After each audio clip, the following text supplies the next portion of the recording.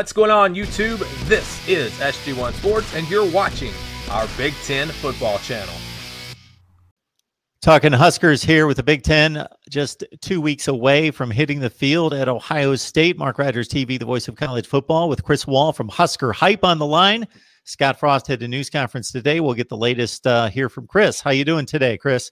Hey, Mark, doing well. Thanks for having me back. Absolutely. Absolutely. Nebraska football uh, hitting the field with uh, what we would think would be Adrian Martinez as, as the starting quarterback. That's pretty much assumed across the nation, especially since he had so much Heisman talk and hype going into last season.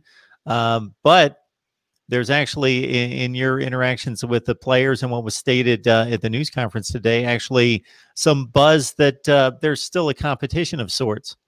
Yeah, definitely. So Frost kind of came out today and, you know, said there's still competition going on. It's healthy as of right now. It would be Martinez, obviously, but they're definitely encouraging competition. A couple of the other players, um, specifically the tight end, basically just came out and said, uh, Austin Allen said, you know, there's definitely a clear competition between Martinez and McCaffrey uh, going on right now. So I, I think Martinez would be the guy, but definitely McCaffrey's a dude. He wants to get in there he wants to play. So whether it's right away or later down the road, I, I think they'll both find a way in there somehow. That uh, situation revolving around uh, Omar Manning, one of the more uh, anticipated players on the offense that people really want to see. Uh, did Scott Frost give any clarification as to his situation going into the opener? Yeah, so big question mark around Omar Manning, the big JUCO uh, kid that's come in.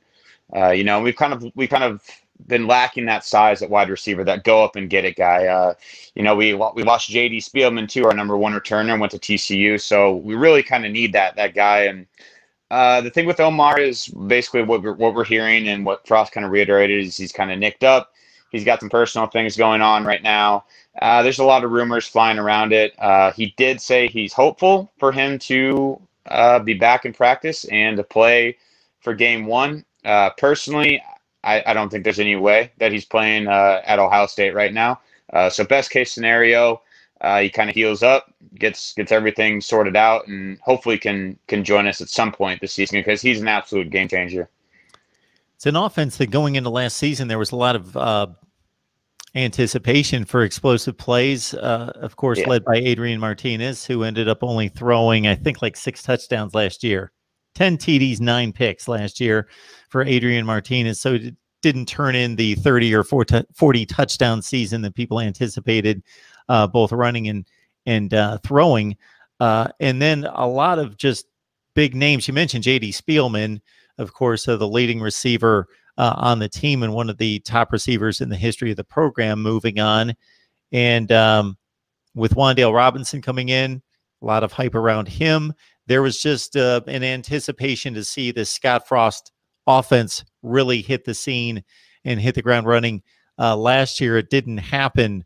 Uh, your thoughts about the the offense and whether um, you, you, think they have the personnel to make it uh, explode this year?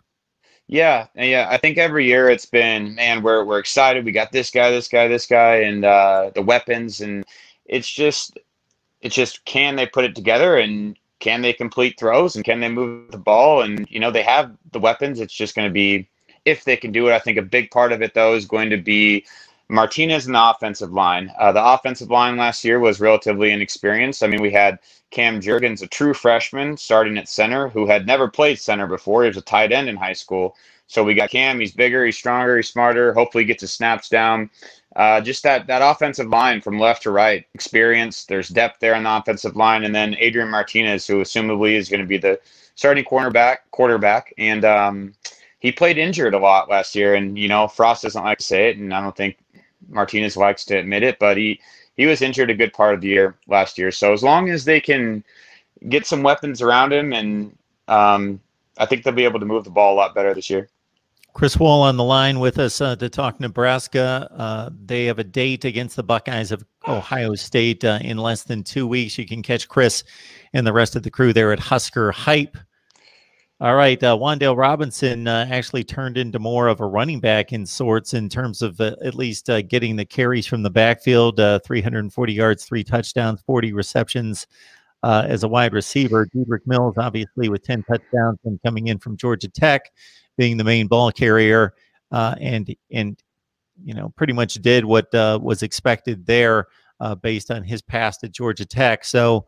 Uh, any competition for Dedrick Mills? How do you expect the distribution of the running game to turn out? Yeah, so I'm glad you brought those two guys, those two names, uh, Wan'Dale and Dedrick Mills, and those guys are solid. They're gonna they're gonna make plays and they're gonna move the ball, and as long as they stay stay healthy, I think that they're a large reason the offense can be successful.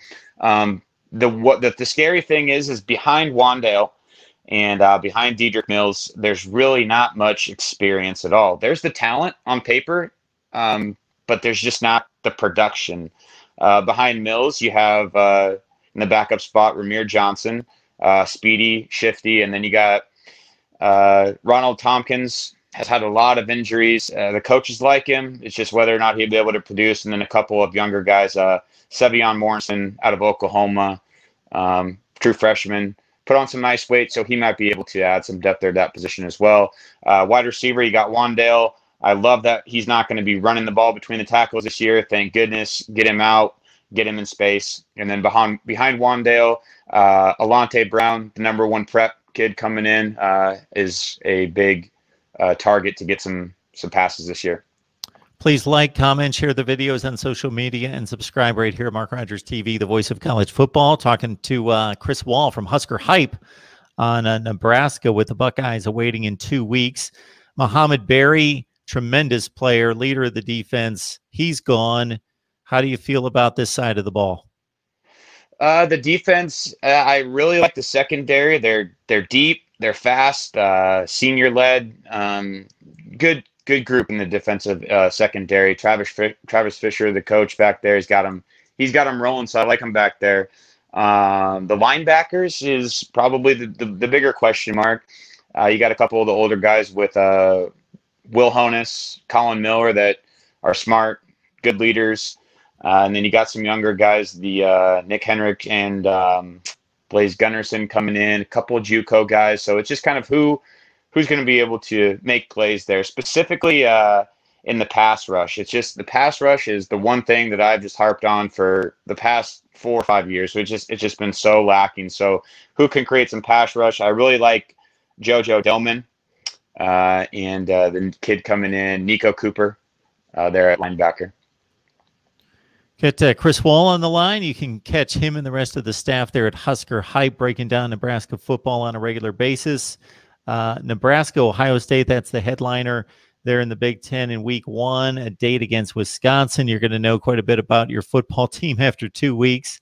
Um, yeah. Trying to figure out, uh, obviously, Ohio State, Penn State. So that's that's a rough go right there, considering that uh, once the Big Ten uh, broke down the schedule to just the eight games, and then the additional game that's going to be determined based on the seedings at the end of the year that you're usually have three crossover games. So everybody uh, just explaining this uh, plays everybody in the division and then plays in the big ten three crossover games.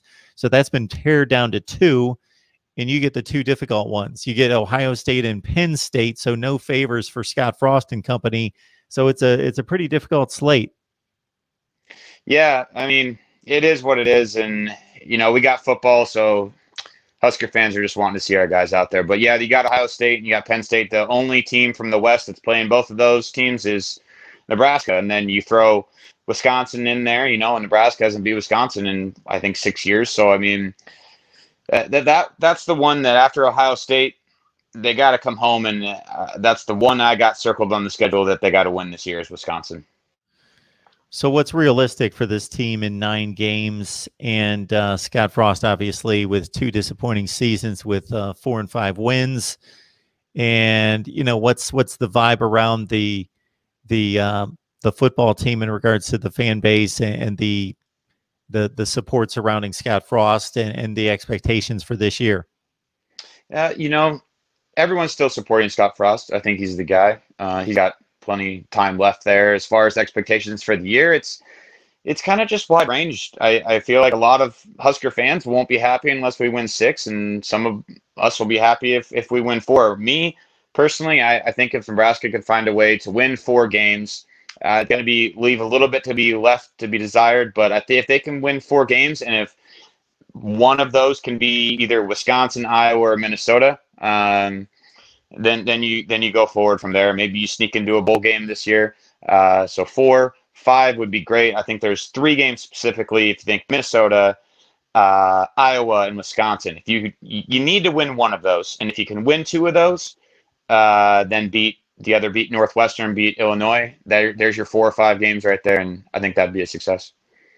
All right, Chris, we appreciate you stopping by. Uh, hope you en- enjoy the season here. Nebraska football, very intriguing. Certainly gets us a lot of views because despite uh, the downtimes recently, a ton of interest out there uh, on Scott Frost and what he's going to do there at Nebraska. And like you, I'm still a believer that he's the right fit for the job. I, I just think based on what he showed uh, as an offensive coordinator at Oregon, taking that to UCF, turning that situation around quickly, coming back to Nebraska, that it took him some time to look around, weed out the the, the players that weren't necessarily bought in and going to deliver for him.